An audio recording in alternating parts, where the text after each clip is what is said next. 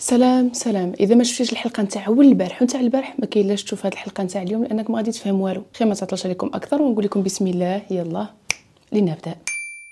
خليناها فاش ياقوت كانت قالت لينا بلي أنه لصقني لصقة وقال لي بلي أنه الأسبوع الجاي أنا جاي فين كتسكني باش أنني نشوفك مباشرة. ونعرفك على أختي والأسبوع اللي من موراها غادي نمشي للمغرب وغادي نطلبك من عائلتك. وهنا غادي تبدأ مرحلة واحدة أخرى من حياة ياقوت كيف ما هي كتقول. ويلي جاتني عجيبة وغريبة أنه زرب عليا بحال هكا. قلت واخا ماشي مشكل غادي نعطيه فرصة. جا عندي وتلاقينا وشربنا قهوة وما نكذبش عليكم. مباشرة كيبان لي بلي أنه كبير على العمر اللي عطاني. ولكن كنت نقول يمكن تماره راه قراته من بعد مشى يشوف اختو اللي قالت ليه سير تعرف على العائلة ديالها اللي في البلاد وتزوج بها وبلا ما تضيع الوقت حيت هذه همزة زوينة. هو ديك الساعة فاش تلاقينا خدا النمره ديال بابا وحتى نتاع ماما ودوا ليهم وطلبني منهم ديك الساعة. من بعد قال لي شوفي يا بنت الناس يا قوت أنا غادي نتزوج بك وغادي نديرو أنا وياك الحلال. شنو هو هذا الحلال اخويا؟ غادي نقراو الفاتحه وغادي نطلبك من والديك في المغرب. وفاش غادي نطلق من مرتي؟ ندير معاك عقد الزواج. أنا كاع الظروف اللي كنت عايشة وسط منها سمحات لي باش أنني ناخذ قرار ونوافق على هذه الطريقة ديال الزواج اللي هي منتشرة في أوروبا وكتبقى حلال. وكنت أصلا أنني كنقلب على أنني نستر راسي واللي يخرجني من ديك la situation اللي كنت عايشة فيها. واخا راه ماشي حل هذاك. فعلا غادي يقطع البيي ومشى للمغرب لدارنا. تعرف على والديا. وطلبني من عندهم. وخرجت معاه ماما رسميا وغادي يشريو لي الذهب وال cadeauات نتاع العرس. وجا لعندي. فاش جا هزني وداني معاه للمدينة فين هو تيسكن. وجاب فقيه وجاب ناس اللي ما كنتش كنعرفهم. ولكن قبل شرط عليا. باش نكمل أنا وياك يا قوت ديري الحجاب الشرعي ديالك. يعني بالعباية. قلت لي واخا ماشي مشكل. المهم جاب الفقيه درنا الفاتحة ودرت شوية ديال الحنة في يدي. وعيطت لماما وبابا وخوتي في أبل فيديو. وحضروا ليا ديك الفاتحة. وهنا ما عرفتش واش نقدر نعاود لكم شنو وقع من بعد لأنه ما عرفتش واش عندي شوية ديال الجرأة حيت المسألة صراحة شوية شخصية. المهم لقيتو بلي أنه تيكذب عليا وما عندوش 42 عام وما عندوش حتى 46 عام ولكن كانت عنده 51 عام وما كانش كتبين عليه. ماشي القضية نتاع أنني مكلخه أو ما كنفهمش في الناس ولكن السيد مهلي في راسو. طوموبيل اللي كان sportive وهو رياضي وكيلبس مهلي في راسو ما باينش عليه داك السن أصلا. شو غادي نقول لكم؟ كيف كتعرفوا؟ كيف شاركت معكم من الأول أنا تزوجت ملي كانت عندي 19 سنة.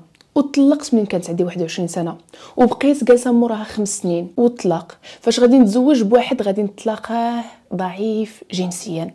يكذب عليك الواحد يقول لك بلي أنه تقدر تجمعنا الفلوس ولا الحب لأنه هذه المسألة وهذه النقطة كتلعب دور كبير. إلا إذا كان عندك شي هدف استغلالي مع الشخص اللي بغيت تكملي معاه حياتك. المهم هو كان تزوج خمسة ديال المرات وطلق خمسة ديال المرات وأنا ما كانش في راسي. في راسي بلي أنه تزوج غير بكورية وطلقها وعربية وطلقها. أما هو صدق كيتزوج وكيعاود. المهم قلت ليه أنا علاش كذبتي عليا في السن ديالك؟ بديت كنعاتبو لأنه عرفت الحقيقة اللي صدمتني. لا أنا بصراحة كيف شفتك وشفت التصويره ديالك لقيت فيك الإنسانة اللي أنا باغيها وكنتمناها وما بغيتش نخسرك. داكشي علاش كذبت. سمح لي ولكن هذا راه ماشي سبب مقنع. أنا اللي خاصني نختار واش نقول آه ولا لا. وما تفرضش عليا الشخصية ديالك في علاقة اللي ما عندكش علاقة بها. حيت الصراحة أنا خويا كون كنت عرفت العمر ديالك ما كنتش غادي نتزوج بك. وهذا القرار تيرجع ليا أنا بوحدي. تعصبت وحاول باش أنه يهدني ويقنعني باش أنني نبقى معاه. مع الوقت صراحة كان تيدير معايا شي حوايج اللي كانوا زوينين. كان تيتعامل معايا كيف الأميرة. وكل صباح كنا كنفيقوا وكنا كنصليو الفجر بزوج. وكنخرجوا وكنتقداو مجموعين وكنمشيو للسينما. كنا عايشين غير أنا وياه. الراس في الراس. داني لدارو وقال لي اختاري أنك آه، تبدلي اللي بغيتي في الدار لأنه كان ميسور ماديا وكانت عنده الجنسية وبدارو بطوموبيلته لدرجة أنه في نهار واحد غادي يسافر بيا من مدينة لمدينة واحد المسافة اللي كانت طويلة وشرى لي أكثر من العشرة نتاع العبايات والحجابات ديالهم. عجبني الحال. كان كيتعامل معايا زوين لواحد الدرجة اللي كانت داكشي ديال الأفلام. بقينا بحال هكاك. بدلنا الكوزينة بدلنا الصالون وكنا عايشين حياتنا لمدة سبع شهور ديال الزواج اللي فيها تعرفت على الطريقة ديالو الأوروبية وحتى المغربية. المغربية اللي كانت يطلق منها داكشي باش ما قدرناش نديرو عقد الزواج. تعرفت على ولادو اللي كانوا كيجيو عندي وكنت كنطيب ليهم. القورية كانت كدويه في التليفون. من بعد ما تقطعات العلاقة ديالهم أنا حاولت باش أنني نرجعها ما بيناتهم لأنه كاين وليدات عندهم. قلت أنني نصلح العلاقة ديالهم خصوصا فاش عرفت بلي أنه دخلت الإسلام على قبله فاش تزوجت به في الأول ودارت معاه وليدات. من بعد حصلته بلي أنه كيخونها. مع هذه اللي عنده آه، معها البنيتات وطلقت منه وتزوج بهاد العربية. فديك القوريه بغات ترجع للمسيحية ديالها ولكن حيتاش قفلات 20 عام وهي دايرة الحجاب وكل شيء عرف بلي أنها سلمات فما رضاتش أنها تحيد داك الحجاب قدام الجيران والعائلة وترجع للدين ديالها. هادشي كله حيتاش هو عطاها صورة خايبة على الإسلام. فهم ليها بلي أنه الإسلام هو الخيانة والراجل يدير اللي بغا أما المرأة لا ما عندهاش الحق أنها تزعزع. المهم موضوع خاص بهم ولكن عموما هادشي اللي كان تيدور. فبقيت أنا وياه بدينا كنمشيو عند الطبيب حيتاش أنا أنا ذاك الساعة ديت باش أنه نولد. وكل مرة كنمشي عند الطبيب كتقول لي الطبيبة بلي أنه ما كاين عندك والو خاصك غير أنك تكوني مرتاحة في عقلك. جا الصيف كنا مرتاحين وكنا مفاهمين. وحيتاش ولفت باش أنني نخدم ويكون عندي المصروف ديالي الشخصي قلت ليه واحد النهار شوف أنا غادي نوض نخدم شي سويعات نبدا كنعاون بهم والديا. ونصيفط لهم شي بركة شوية ديال الفلوس. وإذا خاصتني حتى أنا شي حاجة راه فلوسي ندير بهم اللي بغيت. هو بطبيعه الحال قال لي ماشي مشكل. لقيت الميناج في واحد زوج ديال الفيلات وبقيت كنمشي كنخدم خمسة ديال الساعات في الأسبوع. ما كنتش كنتخلص صراحة شي خلاص اللي كان كبير ولكن على الأقل. بقينا بحال هكاك. حتى جات لعندنا اختو اختو اللي كنت تعرفت عليها فاش جا عندي وهي اللي كانت شجعته باش أنه يتزوج بيا. جات لعندنا ولقات الدار بلي أنا تبدلات. الديكور الكوزينة كلشي نقي ومبدل شفت ما بيني وما بينه واحد الانسجام وعلاقة اللي كانت زوينة ومهدنه بدون تفاصيل أكثر لأنه قابلته من الناحيه اللي على بالكم وكنت كنقاد ليه الماكلة ديالو الشراب ديالو والعصائر ديالو اللي كانوا يقدروا يعاونوه واقتنعت به ووسط هادشي كله التعامل ديالو كان تيشفع ليه على كل شيء. هكا أنا كنت نفكر أيضا كنت نفكر باش أنني ندير أسرة مستقر فاش اختو شاف داك التعامل ما بيناتنا كيفاش داير السيده تصدمات حتى كنحصلها أنها كتهضر معاه ما بينها وما بينه وكتقول ليه رد بالك عندك دير معاه العقد وخليكم غير دايرين الفاتحة. واخا يخرج لك الطلاق ديالك ما ديرش عقد ديال الزواج. ورد البال أنك تجيب منها شي وليد. حيتاش أنا أنا ذاك كنت باقا صغيرة وزوينة. وقالت لي راه غير دير الوراق غادي تسمح فيك. أنا حصلتها وما قلت شي حاجة. حتى لواحد النهار. عارفاني كنوض كنخرج كنخدم. هي غادي تهز قرعة ديال الماء بلا عكز عليها وغادي تخويها ليا في الأرض. وتقول لي يا قوت أجي جفي الأرض. أنت راه دارك موسخه وكتمشي ديري ال ménage عند الناس ودارك دايرة بحال هكا. لا أختي داري ما موسخاش غير إذا شي حد وسخها ولكن ماشي مشكل. جففت. من بعد قالت لي أجي نشفيه شنو غادي ندير؟ ما قداش على المشاكل هزيت الزيف ناشف وبديت كنمسح. من بعد قلت لراجلي يلا توصلني. خرج معايا وبدا كيدوي. ما كنتش كنجاوبو كنت كنتجاهلو. حيتاش أنا عندي واحد الكاركتير اللي هو في شكل. أنا ظريفة بزاف ونية ديال الله ولكن قلبي إذا هرب ليا من شي واحد راه واخا يجيبوه ليا ويطلوه ليا بالعسل ما يبغيش يحلى ليا. فاش كنسد كنسد بمرة. فاش بدا كيدوي معايا ما كنجاوبوش. وصلت الخدمه وشفتني السيدة اللي كنخدم عندها في الدار. قالت لي شنو عندك يا قوس؟ ما بنتيش ليا مزيانة. قلت لها عافاك ممكن نشربوا قهوة أنا وياك؟ قالت لي واخا.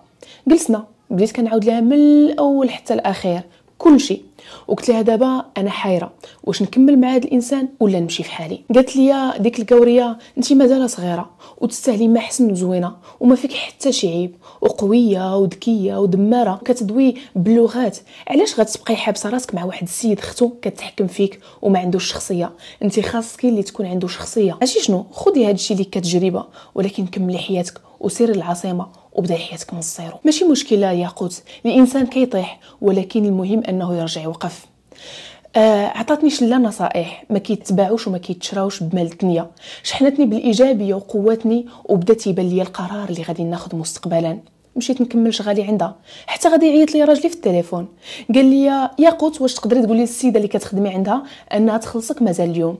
ويلي السيد ما عمره ما دوا معايا في هذا الموضوع ولا عمره ما جبد لي حتى السنتيم الكحل فلوسي ولكن هذا دليل على ان اخته باقا معاه في الدار. وهي اللي قالت ليه سير قول ليها تعطيك الفلوس وشوف شنو غادي دير. أنا حدي قلت ليه واخا أنا غادي نشوف. عيطت للسيدة اللي أنا عندها وقلت لها سمعي الجديد ها شنو قال لي شنو بان لك فلانة؟ ما كاينش مشكلة يا قوت غادي ديري كأنه ما فراسك حتى شي حاجة. والفلوس غادي تعطيها ليه؟ وما تقوليش وسيري لعندو ما تقوليش ليه لا علاش لا كيفاش لا حتى شي حاجة. بيني راسك بلي نتيا أحسن منه كبر منه في العقل. وبلي راكي ماشي طماعة. فعلا مشيت للدار عطيت ليه الفلوس ونض خرج هو واختو باش يتقداو. أنا غادي نقول لكم شنو داروا. التقضيه اللي جابوا كاملها كانت بفلوسي. وشراو غير الحاجة اللي ما كناكلهاش؟ الله يخليكم. طبيعه الحال. الراجل قربت نقفل معاه العام. حفظني شنو تناكل وشنو اللي ما تناكلش. هو شنو غادي يدير؟ مشى شرا العكس نتاع أي حاجة كناكلها.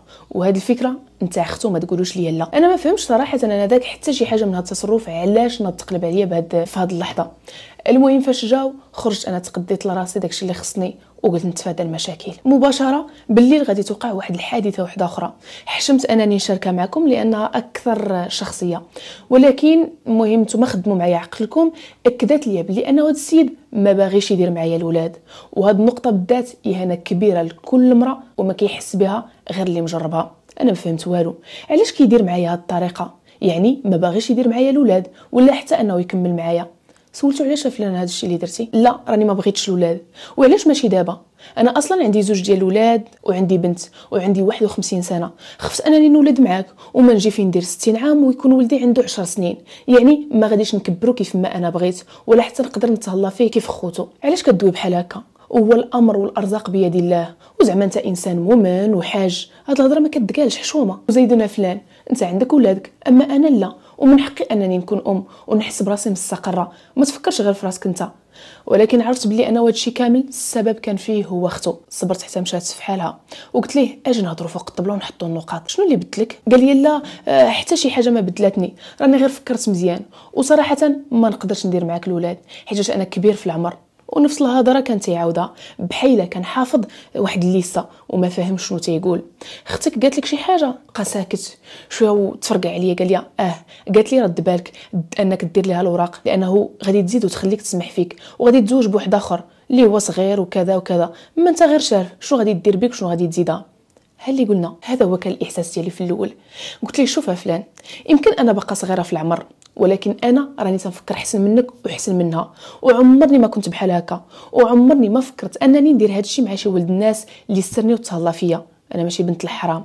ولكن باش أنك تنوض تحرمني من أنني نكون أم لا هذه ما نقبلهاش. عرفتي شنو؟ غادي نحبسو هنا. ما كاين لاش نكملو. وكل واحد يمشي في طريقه لا وانت بغيتي تخلينا ياقوت ولا ناناني نانا اسمع فلان أنا ما بقيتش قادرة نعيش هذا الوضع. وشفت راسي بلي أنني تنازلت على بزاف ديال الحوايج. تزوجت بك بالفاتحة وأنا ما مضموناش أنه تقدر تخليني في أي لحظة. كذبتي عليا في السن ديال الزواج في الطلاق وما بغيتيش دير معايا الأولاد. هادو كلهم أسباب كانت كافية باش أنني ناخذ هذا القرار.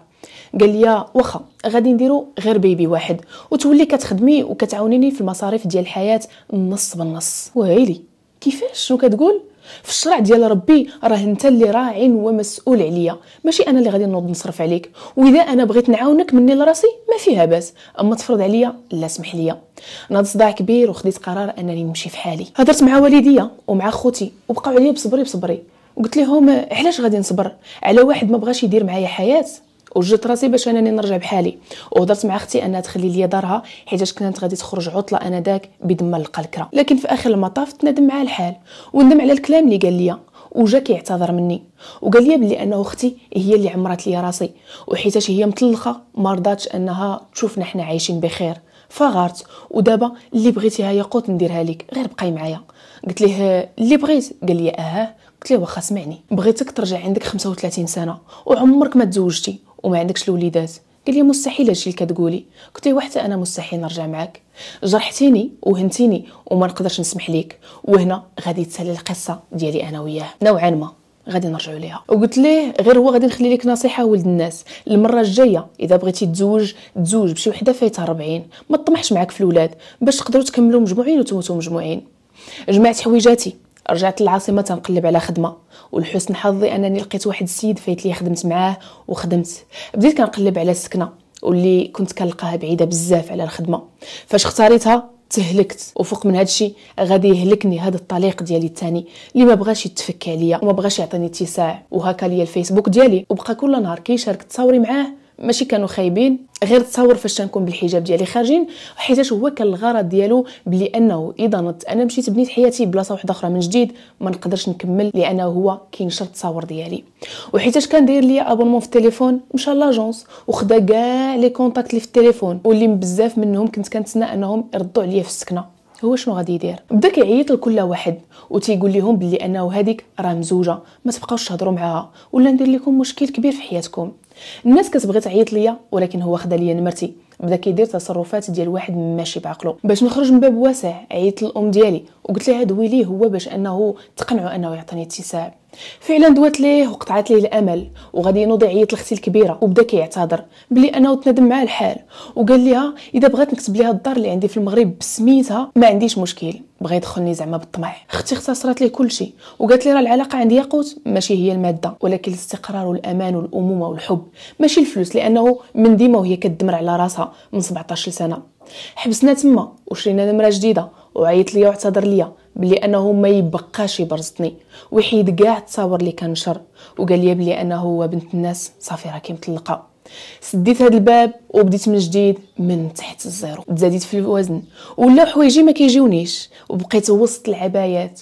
ولكن فاش رجعت للعاصمة كنت مولفة أنني نخدم في ال marché بال jean ومجموعة بحال الراجل. ما كاينش اللي غادي يخدمني بالعباية وبالحجاب الشرعي. مستحيل. عييت ما نقلب. فاضطريت أنني نرجع الياقوت ديال شحال هادي قبل ما نتزوج بداك الراجل.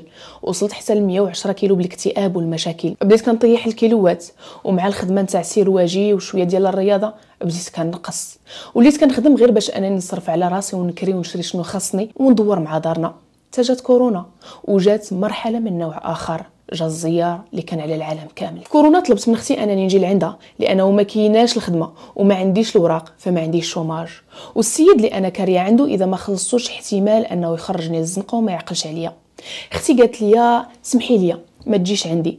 راني خفتك أنك تجيبي لي الفيروس للدار. بهذه الطريقة وبكل بساطة. وهنا اكتشفت بلي أنه في الغربة ما تيبقى عندك لا أختك لا خالتك لا عمك لا بنات عماتك. كيبقى غير راسي راسي. أنا ما عرفتش هاد الناس اللي تيجيو للغربة ما تيبغيوش يعاونوا عائلاتهم علاش؟ المهم قالت لي لا إذا جيتي عندي غادي تمرضي ليا ولادي. ماشي مشكل. اللي تيخلق ما تيضيعش. وبقيت ساكنة. أنه مهدده شي نهار آه، يخرجني الآخر في حالي. عيط لي السيد اللي أنا كنت خدامة معاه في ال marché. وقال لي دابا حنا 3 شهور واقفين ياقوت واش أمورك انت مزيانة؟ لا فلان. أموري ما مزياناش وراني ما خداماش وما عنديش مدخول. أختي ما قبلاتش عليا في هذه الفترة. والسيد يقدر يخرجني في أي وقيتة. جا عندي داك السيد بحال عمي تال باب الدار عطاني ألف أورو اللي هي 10000 درهم مغربية. وجاب لي التقدية الله يجعلها في الميزان الحسنات ديالو. وقال لي أي حاجة احتاجيتيها قوليها لي أنا راه في مقام باك. أنا كانت عندي واحد البركة تحت مني غير باش ناكل. أقسم بالله إذا ديك كورونا كيفاش دوزوها الناس اللي عايشين في أوروبا وما عندهمش الوراق راه غير ربي ورضات الوالدين اللي وقفوا معنا دوك الأيام. راه كنا كنشريو غير les pâtes ولا sauce tomate وكندوزو بها هذيك أيام الحجر الصحي. كاملة. وكنا كنشربوا غير الماء ديال الروبيني اللي ما كانش صحي. وما كايناش غير أنا. كانوا معايا زوج ديال البنات واحد اخرين اللي مشاركين في الكرا داز ديك الفترة الحمد لله عليها حتى كمل داك الحجر الصحي. ورجعنا كنخدموا السيد اللي كنا ساكنين عنده غادي يقول لنا بلي أنكم خاصكم تزيدوني الكرا حيت من بعد الأزمة كلشي غلا. وتأزمت الدعوة. واحد السيد كنت نخدم عنده مشيت طلبت منه أنه يلقى لي الكرا لأنه كان عنده المعارف. قال لي اسمعي يا ياقوت أنا غادي نمشي للدولة ديالي الأصلية نجلس فيها واحد خمس شهور. أجي انت جلسي في داري غير تهلاي فيها وخليك مستورة بيد ما جمعتي شوية ديال الفلوس وقلبتي على خاطرك. رفضت أنني نسكن في دارو فابور وافق وقف معايا وسكنت عنده أنا وصاحبتي وتشاركنا في الكرا وبعدت بزاف على الخدمة بثلاثة ديال الساعات واضطريت أنني نقلب على خدمة واحدة أخرى قريبة ليا. وهنا غادي ندخل في فترة انتقالية واحدة أخرى. تبدلات حياتي 180 درجة على اللي كانت من قبل. فاش مشيت نقلب على خدمة مشيت لواحد الجهة اللي فيها المخبزات والمحلات نتاع المواد الغذائية واللي كانت تقريبا كلها عرب وكانت بالنسبة لهم عيب أنه البنت تخدم تما. كل ما قلبت تيقولوا لي راه ما كنخدموش البنات. المهم ما فشلتش وبقيت كنقلب. حتى كنلقى واحد المغربية خدامة في واحد القهوة ديال واحد الجنسية اللي هي عربية. سولتها واش تقدري تلقاي لي خدمة؟ دارت فيا واحد الشوفة طلعتني وهبطاتني وقالت لي آه من غدا. بحال لقات شي همزة. أنا ما فهمتش. وبما أنه هذا الدومين غريب عليا وما تنعرفوش استغربت وقلت ماشي مشكل. المهم تلقى لي خدمة. لأنه وصلنا أنا وصاحبتي للحضيض وقربوا يساليو لينا الفلوس. فرحت وصلتني عند واحد السيد. وقالت لي قولي ليه أنا من طرف فلانة. مشيت لعندو لقيتو ما كيهضرش بالفرنسي وجايب واحد السيد اللي كيترجم ما بيناتنا. فاش هو سمع باللي أنا من طرفها دار فيا نفس الشوفة ديالها سكانير من الراس للساس. ما فهمتش أنا داك ولكن مع الوقت فهمت شنو واقع. قال لي سمعي ايا قدس. أنا ما تيهمنيش أنك تكوني كتعرفي تخدمي في القهوة حيت غادي تتعلمي ولكن خاصنا نتفاهموا على شي نقاط. قال لي الخلاص غادي نبداوه ليك بهذا القدر ولكن مع الوقت غادي نزيدوه ليك. وممنوع أنك تاخدي النمره تاع شي واحد وممنوع أنك تعطي نمرتك لشي واحد وممنوع أنه شي حد يوصلك ولا يجيبك من الزبناء ديالنا. وإذا قلقك شي حد قوليها لي أنا نتفاهم معاه. علاش تيقول لي هاد الهضرة كاملة. المهم تسوقت فرحت وعجبني الحال وقلت باغي غير يحميني وصافي. بغيتي غدا تبداي؟ غدا نبدأ بسم الله. بديت وكملنا الخدمة بالليل والباترون ديالي قال لي غادي نوصلك. لا ما تحتاجش أنا كنسكن غير هنا. لا أنا غادي نوصلك باش ما يتبعوكش ال clients. أكد ليا قلت له واخا ما فيها باس مشيت معاه بدا تيقول لي إيوا فوقاش نمشي أنا وياك نتساراو كيفاش؟ نخرجوا أنا وياك. وعلاش غادي نخرجوا أنا وياك؟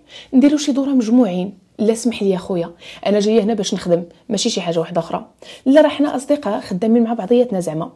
ال patron اللي كندوي لكم عليه أنا هو واحد الراجل اللي كبير وقريب ل 75 سنة. وهنا أنا غادي نفهم بلي أنا علاش قال لي هذيك ما تعطيش مرتك لشي حد وعلاش ما يوصلني حتى شي حد؟ حيت هو كان باغيني يخليني ليه. فاش بغيت تقرب مني بعثتو عليا. وأنا فهمت علاش دوك الشوفات النهار الأول. وعلاش قلت ليه بلي انه أنا من طرف فلانة وزيد وزيد وزيد. فهمت بلي هاد خيتي مغربية من النوع اللي كتبيع وكتشري في بنات بلادها. وهي على علم. باللي انه داك خينا اللي كتصيفطنا ليه؟ راه متحرش. أنا فكرت باش أنه نقلب على خدمة واحدة أخرى وأنا مازال مستمرة في نفس الخدمة غير باش ما نبقاش zéro dirham. حتى لواحد النهار في الجمعة جا واحد السيد من دولة عربية اللي المظهر ديالو الخارجي فتى الأحلام ديالي. طول وعرض ما شاء الله. ندخل جاي يشرب قهوة. حتى كيسولني منين أنا؟ شوية غادي يطلب مني نمرتي الشخصية. لا ما نقدرش. من موراها عاود تحرش بيا ال patron ديالي. تلفت ما عرفت ما ندير لأنه دارت بيا الدنيا. وما عنديش خدمة كبديل باش نقدر نخرج من هذه قلت عرفتي شنو هي قوت؟ غادي تزيدي تصبري واحد شوية. هنا جا داك السيد الأخر فتى أحلامي. سولني مالك ما مرتاحاش. قلت له ما عجبانيش هذه الخدمة. قال لي نقول لك علاش. كيفاش؟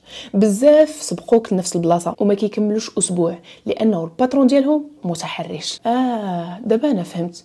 شنو المعمول وأنا محتاجة خدمة وعندي مصاريف وعندي كرا؟ داكشي باش قلت لك عطيني نمرتك النهار الأول باش ندوي معاك في هذا الموضوع باش أنني نوقف معاك. إذا بغيتي بصح تعاوني سير لقى لي الخدمة هي الأولى وأجي غادي تلقاني هنا وأنا ما عنديش أصلا فين غادي نمشي. مشى ساعتين ورجع راني لقيت لك خدمة. فين؟ الفوق كاينة واحد المخبازه إيه ولكن مشيت ليها وقال لي مولاها حنا ما كنخدموش آه، البنات. لا أنا كنت قضيت ليه واحد الغرض.